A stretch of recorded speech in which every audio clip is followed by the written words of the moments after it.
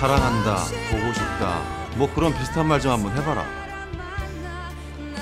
미투예요.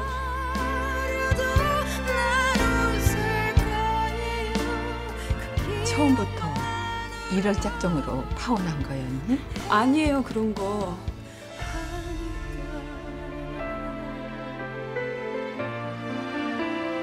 처음이자 마지막 부탁이다. 내가 안심할 수 있도록 해다오.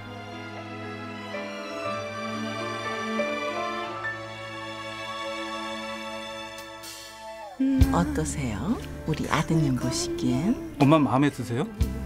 꽉 잡으세요. 오빠 오기 전에 결혼해버려. 널 이때까지 키워준 은공에 최소한 보답은 해야 할 거 아니야. 알아들어?